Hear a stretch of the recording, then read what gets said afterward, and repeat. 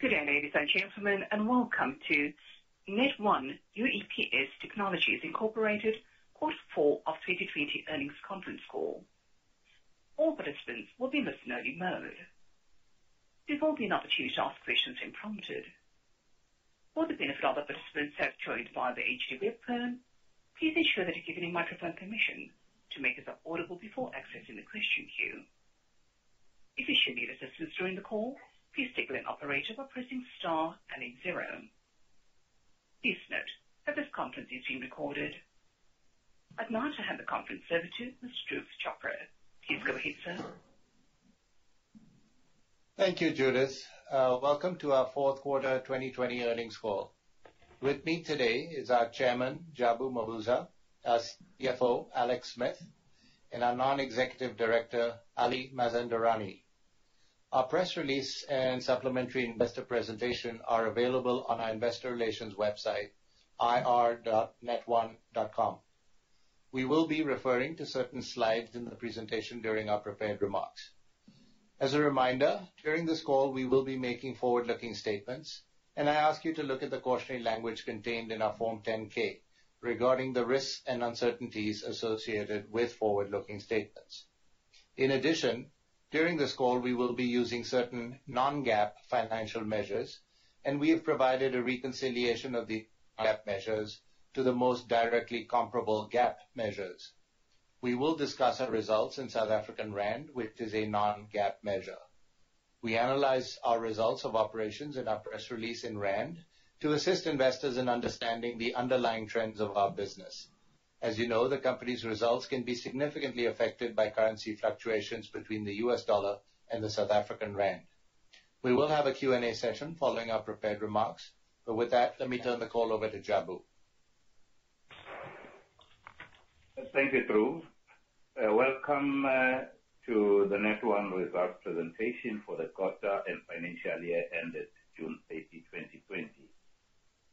This being my first results as uh, chairman since taking on the role in July. The last quarter has been a time of change and renewal at Net1. On the board, Net1 welcomed three new directors in May, being Anthony Ball, Ali Mazanderani, and myself.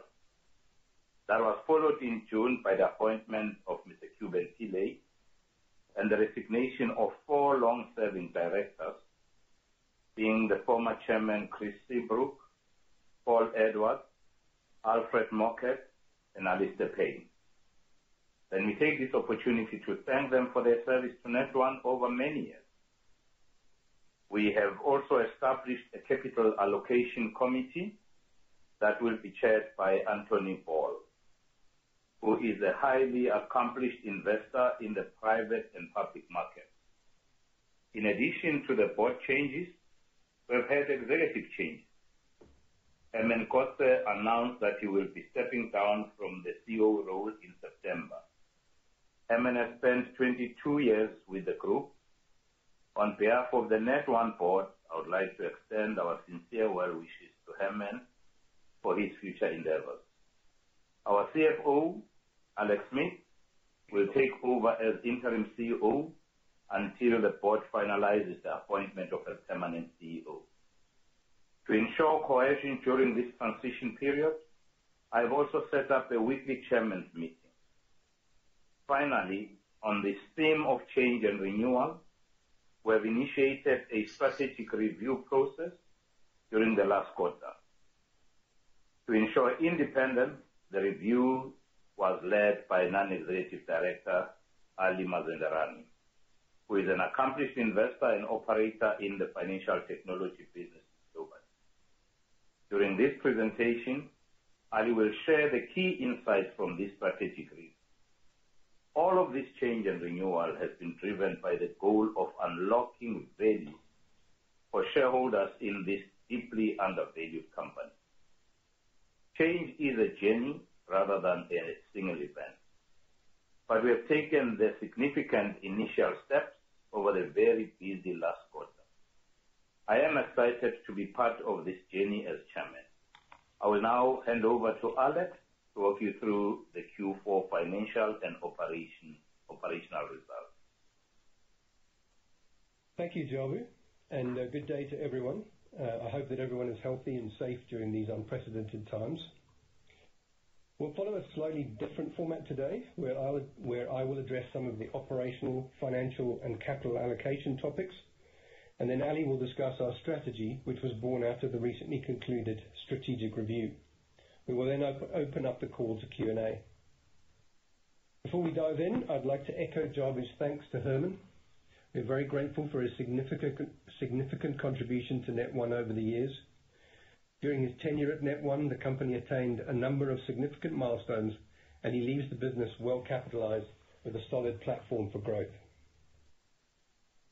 Though the COVID-19 pandemic is global in nature, given the current mix of our operations, the most relevant and material impacts for Net1 are experienced in South Africa, and therefore limited parallels can be drawn between the trends in the U.S., Europe, and many other markets, and South Africa.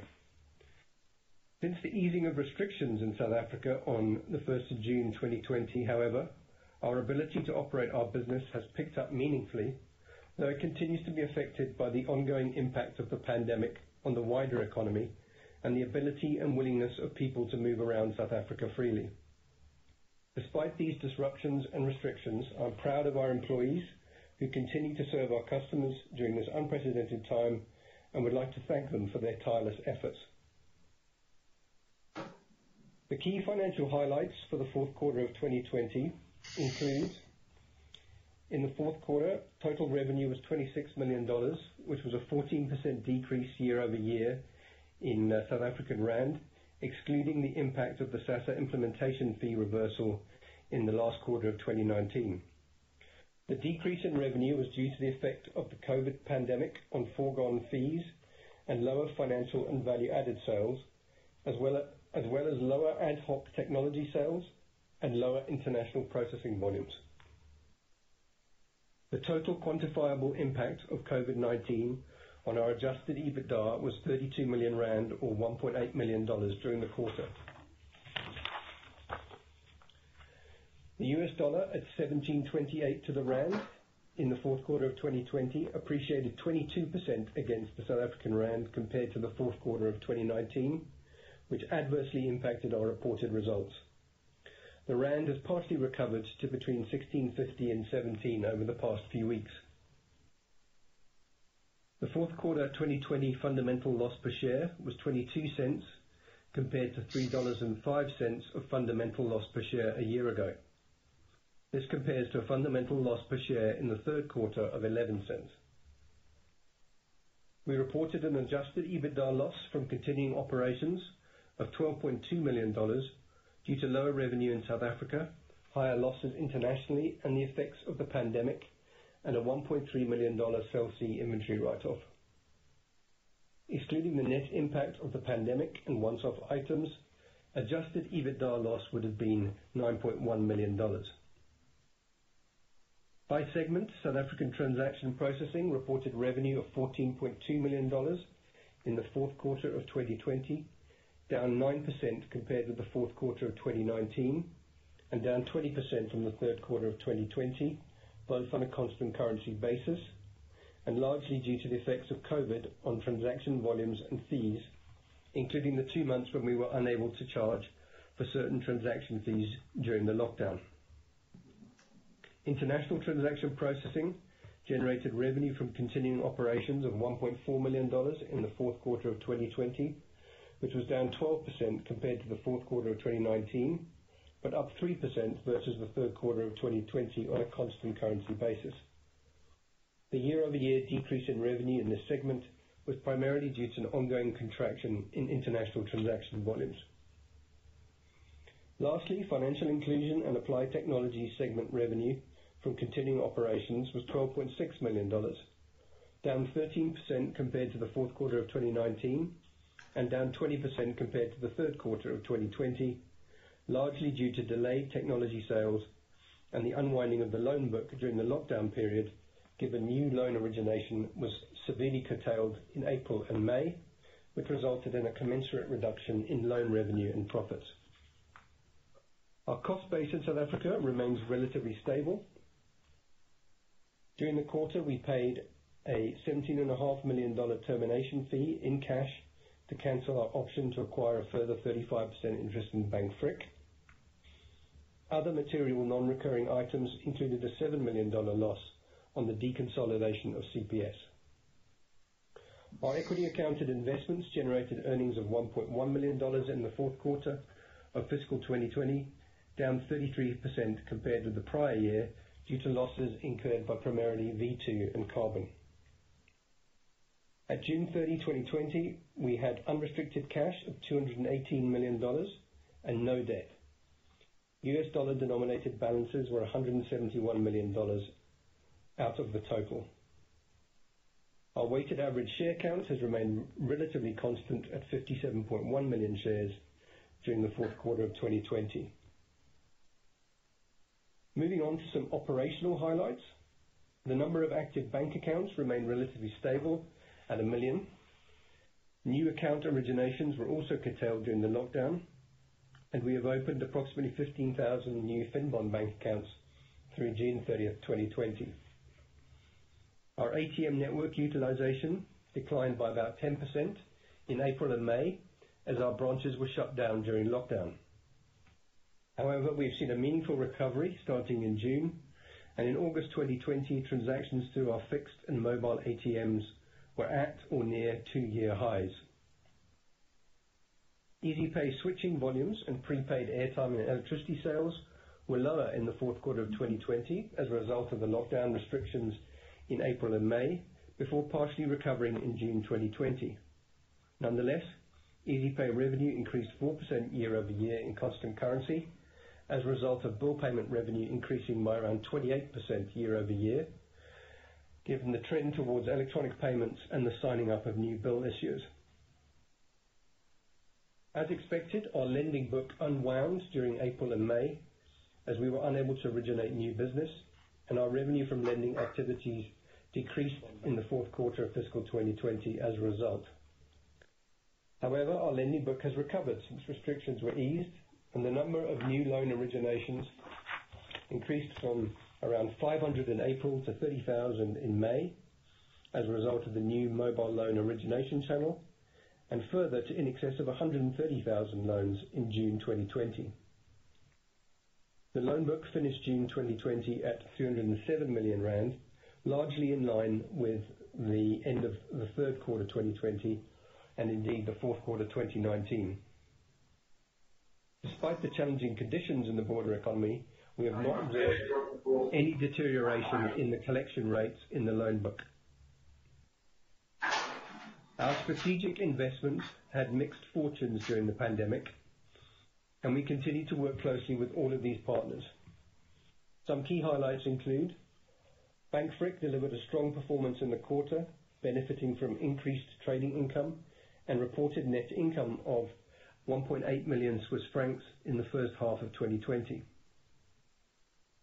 Finbond reported solid results for the year ended 29 February 2020 during our fourth quarter, but issued a trading statement in late June indicating that their earnings were likely to be more than 20% down in the half year to August 31, 2020, due to the effects of the pandemic on both their South African and North American operations.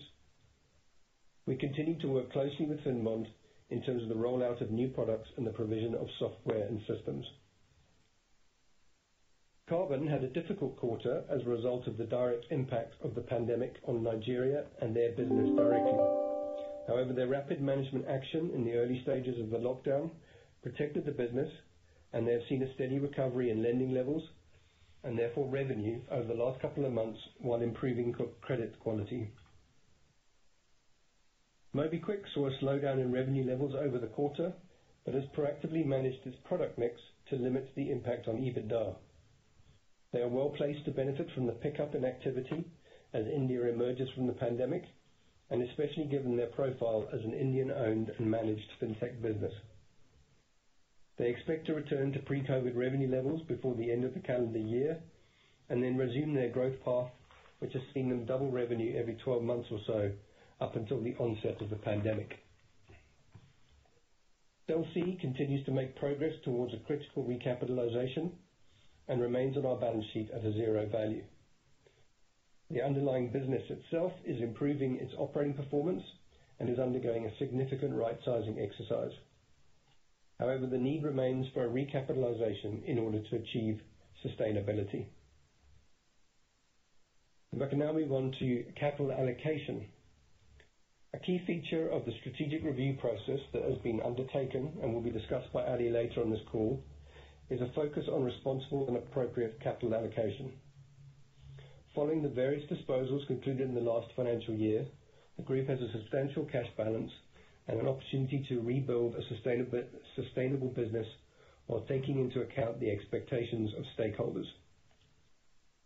As we previously disclosed, we are working towards formally determining our status under the Investment Company Act, which includes filing an application with the SEC relating to that determination. This process involves, among other things, analyzing the potential impact of our anticipated performance and revised strategic direction on our status under the Investment Company Act. We anticipate filing such application with the SEC in due course.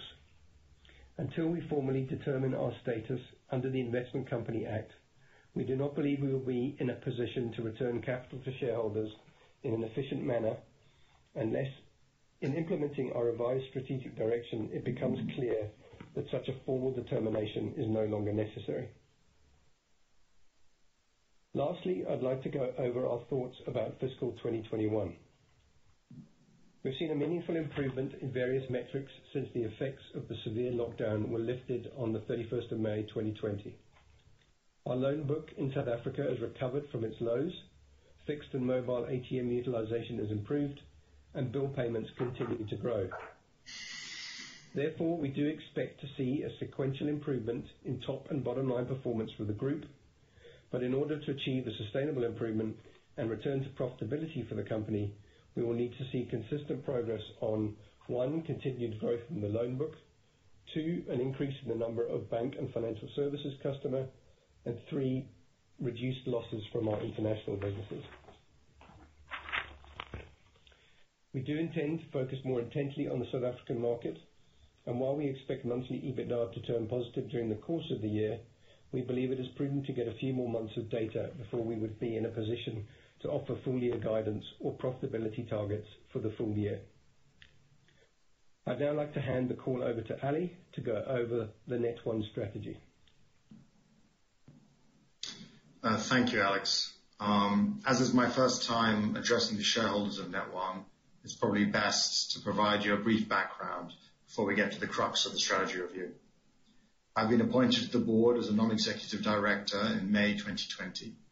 In addition to my duties as a director, I'm also consulting to Net1 on its strategic review, and I'll continue to be involved in supporting the business through the implementation of that strategy. Prior to my role at Net1, I spent the last decade investing in financial technology businesses around the world, in Latin America, Africa, the Middle East, India, and Southeast Asia. Several of these businesses have grown into billion-dollar-plus market capitalization companies, and I have really seen the power of a strong value proposition that enables underserviced populations to access digital financial services. The evolution of the business over the past two years and the need to focus on our competencies form critical inputs in the strategic review process. One of the most notable recent developments was the establishment of a capital allocation committee of the board. I am a member of that committee, and we are tasked with ensuring that shareholder funds in the business are allocated prudently. On a housekeeping note, I will refer to certain slides in the supplemental investor presentation, which has been posted on Net1's investor relations site, and it will also be available on the webcast. I'll start with slide seven. What are Net1's core competencies? When we commenced the strategy review, our first task was to identify Net1's core competencies and where it has a clear right to win. The first of Net1's core competencies is the provision of low-cost financial services to underserviced consumers. These include unsecured credit, transactional banking, and a digital wallet, insurance, and various vap and various value-added services. The second is Net1's unique ability to provide secure payment processing in offline and rural environments. In this area, Net1 has proprietary technology in UEPS and a well-established payment processor in EasyPay, which is a market leader in parts of the bill payment ecosystem. Both of these competencies have been proven in the South African market. The common thread between them is competencies that enable underserved segments within both the consumer and merchant populations to access digital financial services. We also assess the geographic split of Net1's current consolidated operations following the disposal of the Korean operations. 96% of employees are in South Africa, and 97% of revenues are generated in South Africa. So Net1 today is primarily a South African business.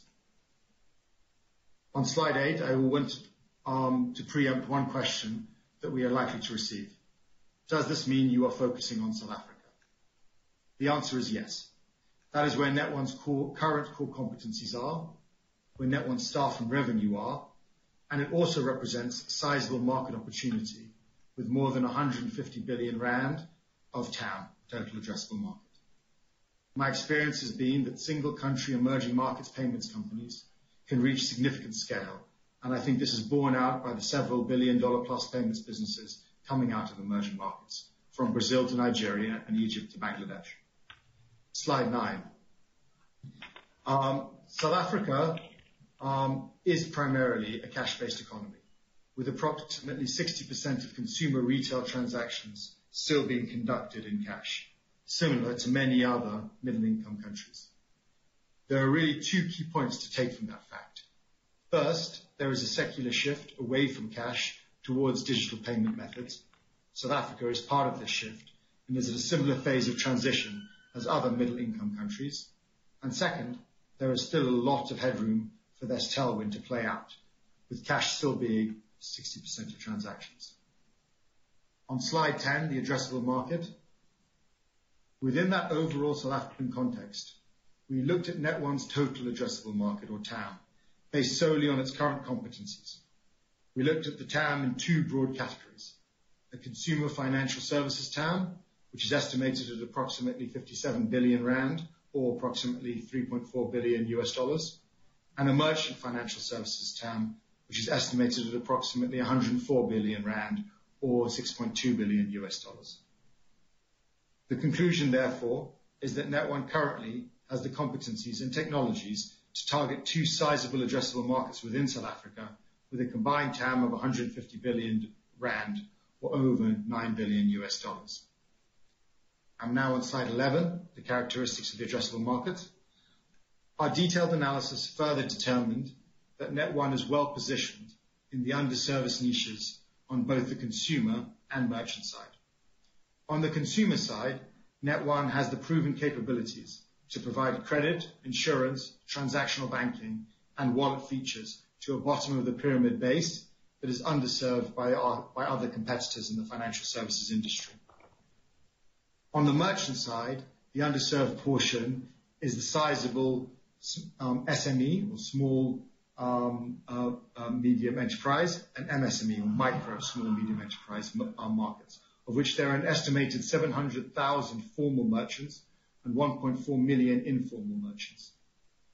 Net1 is well-positioned to service both markets, with the merchant side having particularly attractive secular growth characteristics. It is important to note that although I am talking of these two markets separately, the two offerings are often interlinked. It is quite rare to find a business like Net1 that has already invested in the technology needed to provide most major payment services independently, whether issuing or acquiring all bill payments, at the same time as offering a range of financial services like lending and insurance. Slide 12 outlines um, a stylistic vision for Net1. We we hope we tried to bring this holistic offering to life on this slide using a single merchant as an illustrative example. Our research classifies an MSME as one that has sales of approximately 600,000 South African rand per annum. That is only $36,000. So this is a small merchant. Today, these businesses primarily deal in cash. Providing a secure cash deposit process for them is an important use case, particularly with the security concerns in the South African market.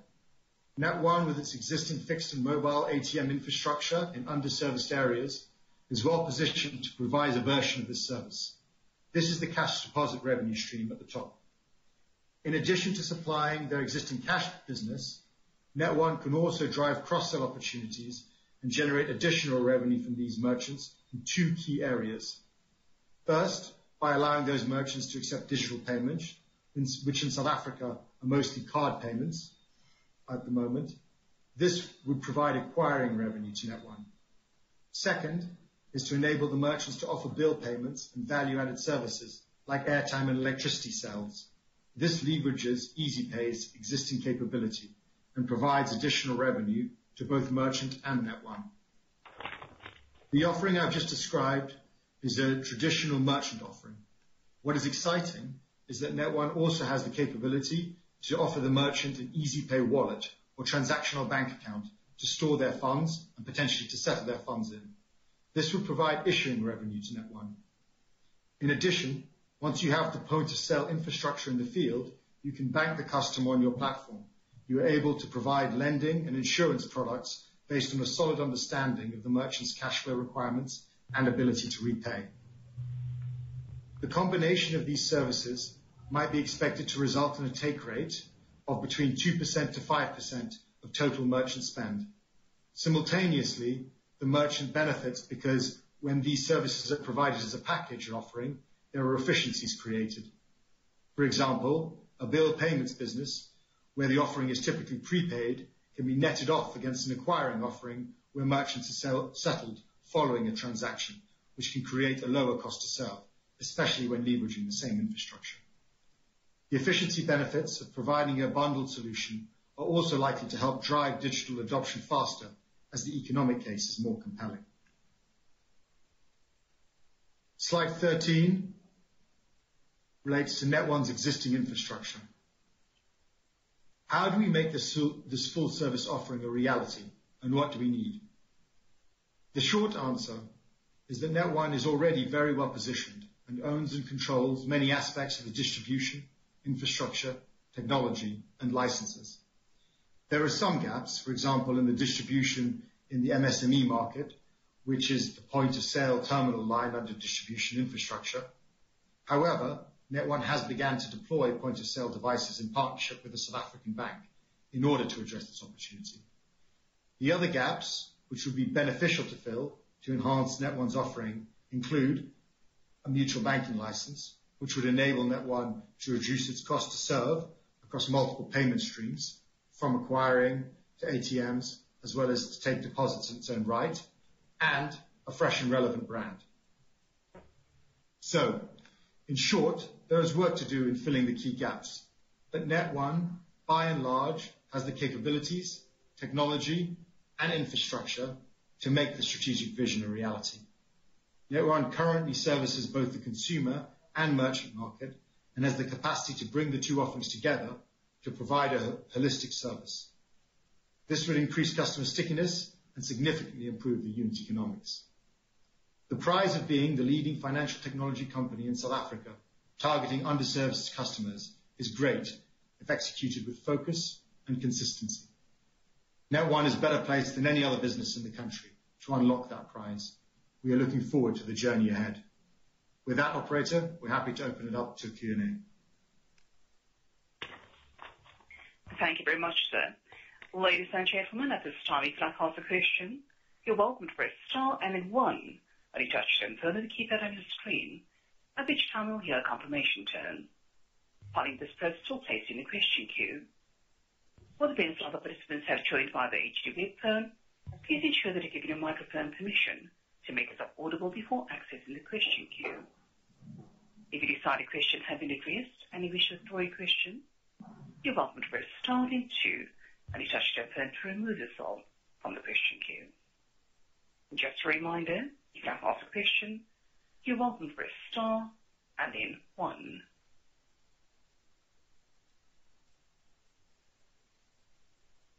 The first question comes from Raj Sharma of B. Riley. Hello, good morning.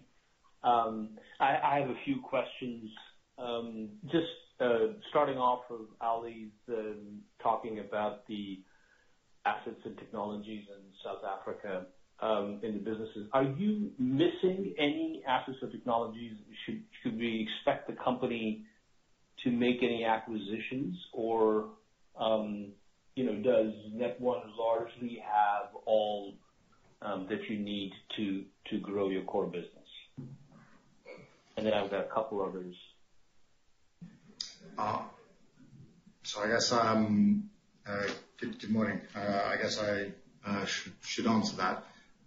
So Net1 largely has all of the assets and technologies required to execute upon the strategy. As I um, said, there is three areas that it could augment its capabilities in. One of those areas is in the last mile distribution in the micro merchant um, space. Uh, the other one is that there is a pricing benefit if you are able to access Um, uh, the national clearing um, uh, settlement arenas for acquiring ATM and um, uh, accept deposits. That would be facilitated by a mutual banking license. I think that the third that I touched on was clearly a relevant and fresh brand. I think that each of those, the first two predominantly, Um, can be addressed by acquisition, but do not have to be addressed by acquisition. Um, right. And then just uh, going off of the need for a mutual banking license, does that play into the the plan that you have um, to submit the filing with the SEC? Would that require additional capital? Could you Um, talk a little bit about that? Um, you know, if you were to, since you're proactively trying to satisfy um, the requirements of the Investment Act, what would that sort of imply? Would that mean you know, you're going to take on more of a majority stake, or is there a plan that you know, you would divest some of the minority investments? How does... Can you help us uh, just understand how you foresee that playing out?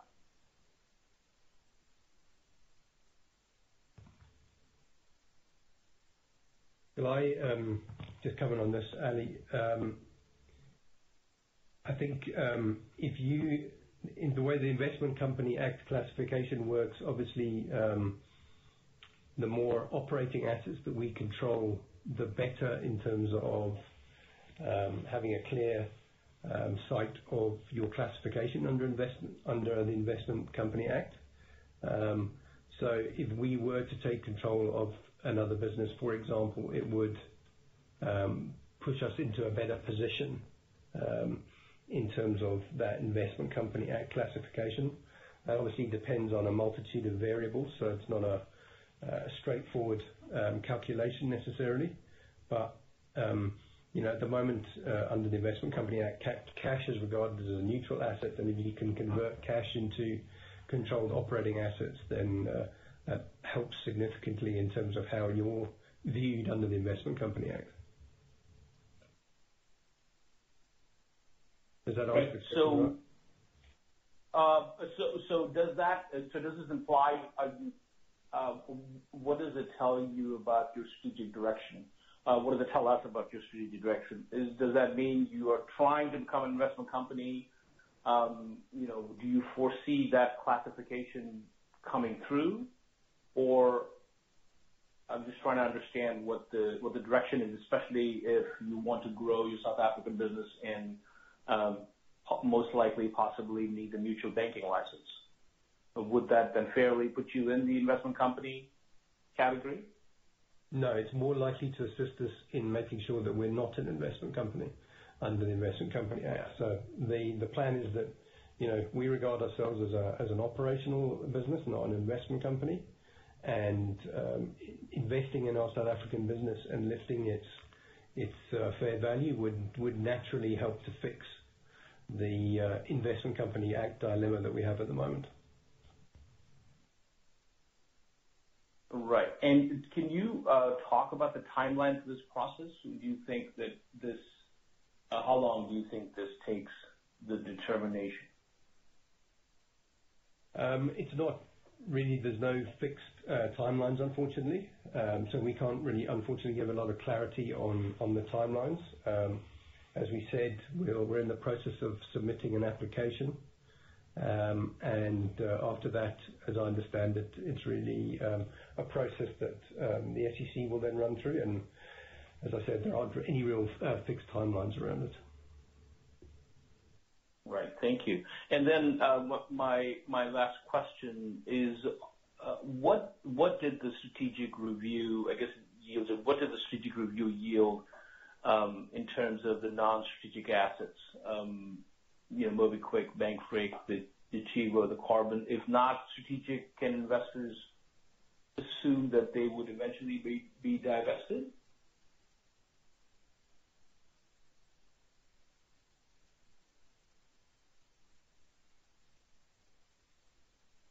Ali, can you pick that up or would you like me to? Sure.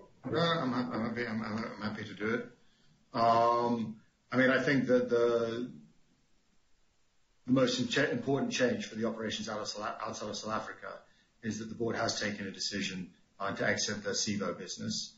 Um, the business um, has been significantly cash flow negative since inception and has incurred material operating losses. Um, and for the purposes of prudent capital allocation, the board deemed an exit of the business as the optimal path. Uh, we will look at all of our strategic investments in the coming months, but we have no specific plans for divestments of others. All of the other operations will be assessed on a case-by-case basis. And on the same token, you might decide to up your stake in any specific um, non-strategic asset. Is that fair? That you might increase your investment or divest some? So I mean, I think that the uh, the fact that we are focusing our interests on South Africa, um, uh, and that that is our strategic priority, um, would mean that clearly it will be through that lens that the capital allocation committee will be looking at any potential opportunities. Got it. I'll take my questions. Uh, I'll take this offline. Thank you so much. Thank you. The next question comes from David Eborall of SaltLight Capital Management. Uh, hi. I hope you can hear me. Yep. Loud and clear. Okay, great. Yeah. Afternoon. Thank you very much for the call. Um, yeah, maybe if I could just pry to pry a little bit just from the previous question. I mean, Finbond has uh, publicly disclosed that they're looking to uh, sell their SA operations. Um, you know, how how is that... Now, I'm kind of drawing the line here to your mutual banking license needs here. How is it influencing you know, your your strategy going forward and your thinking going forward? Um, The second question I have is, um, some of the other bank holding or holding companies of banks, um, the regulator uh, uh, has started to impose some extra regulatory burdens and perhaps capital burdens, which has meant they've spun off these banks. Um, have you had this uh, conversation with the South African regulator that, I guess, is also filtering into this investment holding company criteria for the SEC? Um, has this also been an issue and has this come up in your thinking? Maybe you could elaborate on that. Thank you.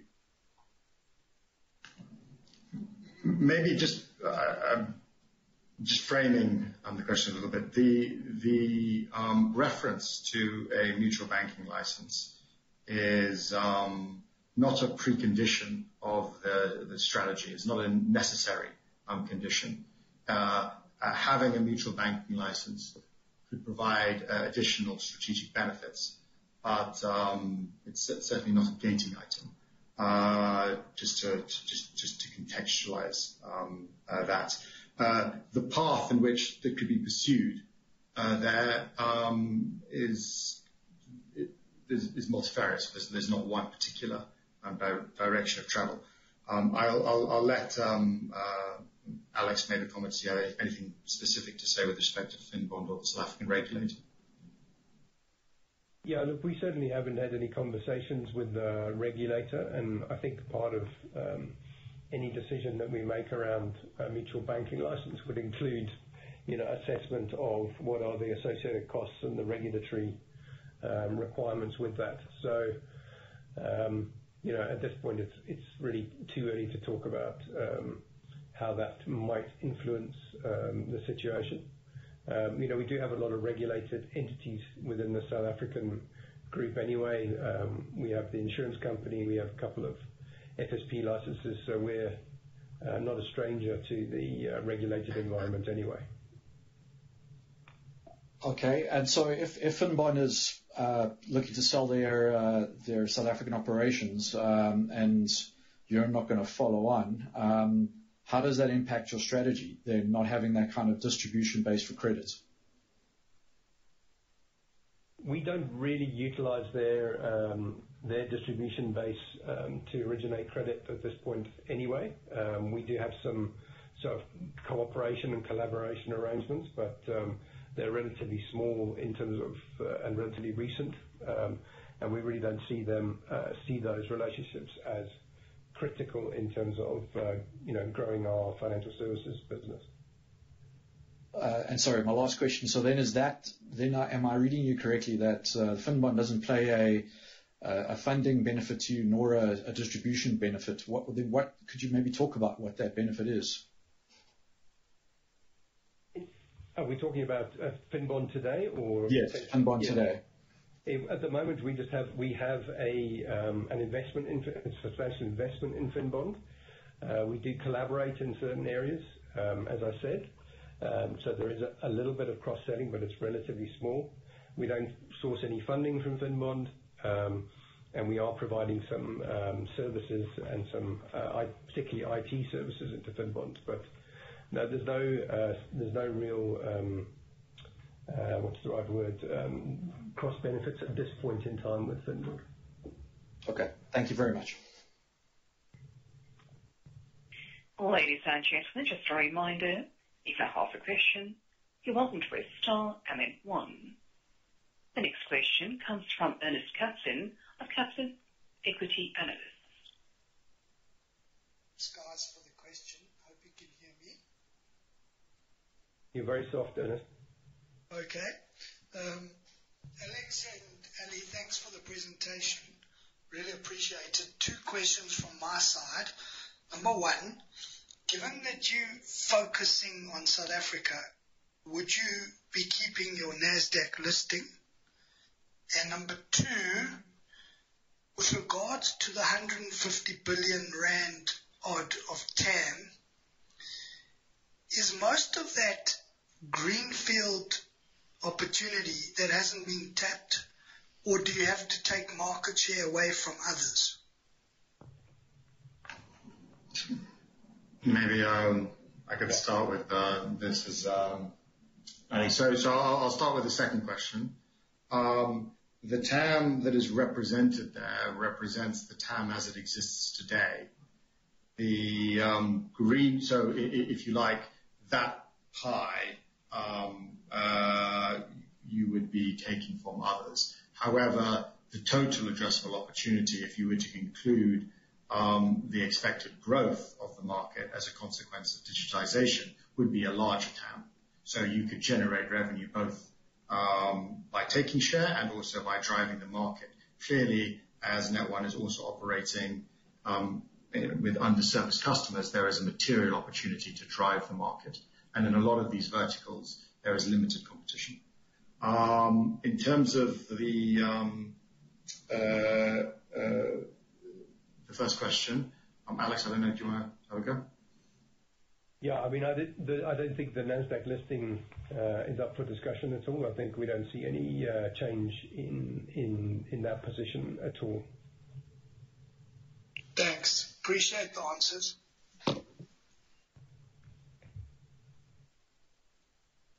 The next question comes from Nick Grigor of Single Asset Managers.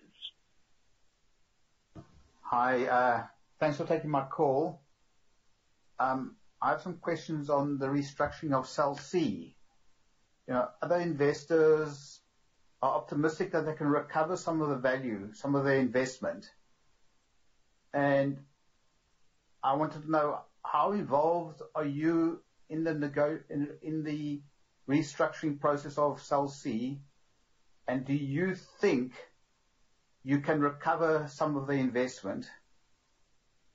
And do you have any timelines that you can guide us on when this will be completed? Um, I can take uh, those questions on uh, Cell C. Uh, we are involved um, to a degree in terms of that we are obviously a 15% shareholder and have board representation at Cell C. Um, but we're not um, actively driving uh, that recapitalization process uh, from our side. Um, we're always hopeful that we'll be able to uh, recover something out of the original investment, but as you'll have seen from our financials, we've written that investment down to zero. You know, we certainly think there's a business there, if we can get the capital structure right, and um, that uh, then there would be value that would be realizable out of it.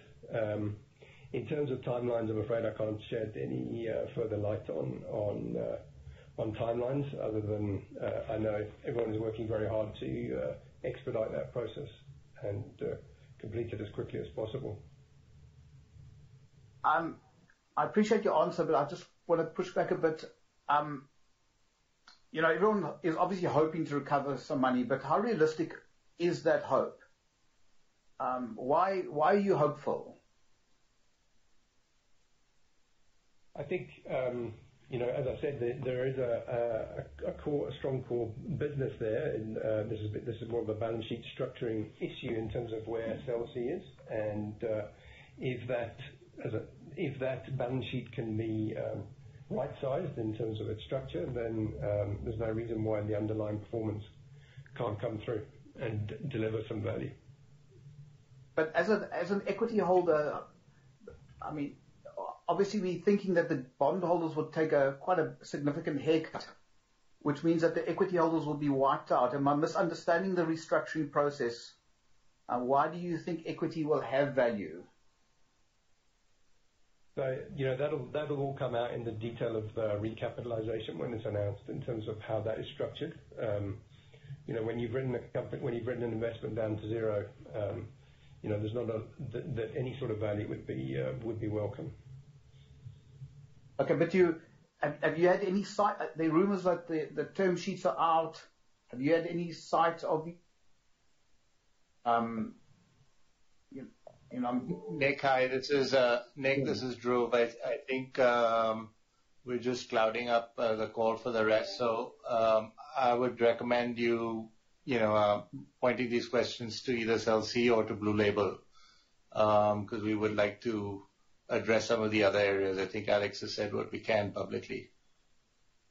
Yeah, I'm just trying to... You know, you guys are guide, it's an important part of the valuation process of the company.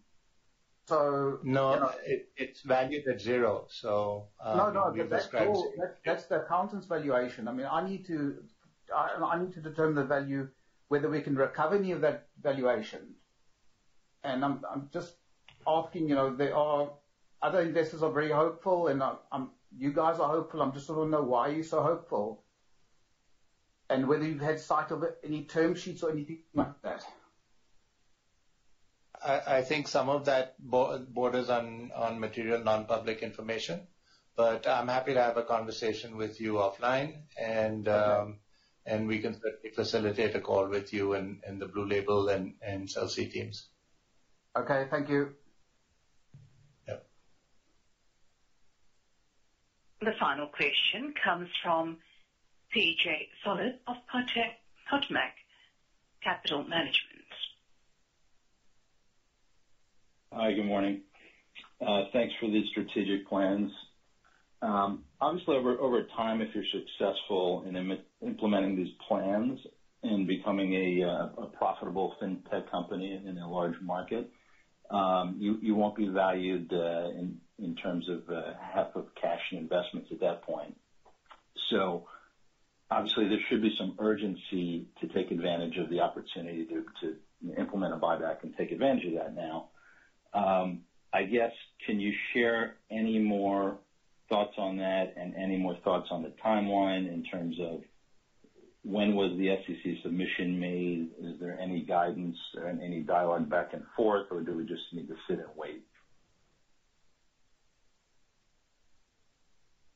Hi, PJ. Um, unfortunately, uh, there's very little sort of clarity we can give on uh, timelines. The um, application has not been formally submitted. I think it's uh, it's uh, close, but uh, not um, actually um, submitted at this point. But and then once we're in in and formally applied, then we don't really have a great deal of insight into how long it'll take to um, to get resolution on the matter. Um so it's very difficult, unfortunately, to give you any guidance on Uh, timelines. But uh, we'll continue to uh, you know, do all we need to do from our side to expedite the process. PJ, it's Dhruv. Just to add to that point. Yeah. Yeah, just to add to what Alex was saying. So, I mean, there, there's a parallel, right? There's one is the application and clarification from the SEC, which which Alex has addressed. But there's also the other side, that if we build the business operationally, then we could self-cure that problem or drastically improve the ratios. And that is within our control, and that is where we're trying to focus on uh, in parallel. Okay. And is it realistic uh, to think that you could self-cure in the next couple of quarters here in calendar 2020? or Is that too aggressive? I think that's probably a little bit. Is it even possible? It's probably a little bit aggressive in terms of a self-cure. I think it'd probably be into uh, third and fourth quarters of this fiscal. And the other route of uh, going through the SEC, does your counsel tell you that calendar 2020 resolution could be a possibility in that route? Um, I think um, a remote possibility, I think is the advice at this point. Okay. Is there a scenario, in talking to counsel as well, where if you have the pathway and the visibility uh, on one or both of those pathways, um, that you could start some form of capital return before actually getting entirely there? We haven't had that uh, discussion yet with counsel. Got you. Okay. Thank you. Thank you. Ladies and gentlemen, that was the final question. Thank you for joining us on the Net1 UEPS Technologies Incorporated conference call. You may now disconnect your line.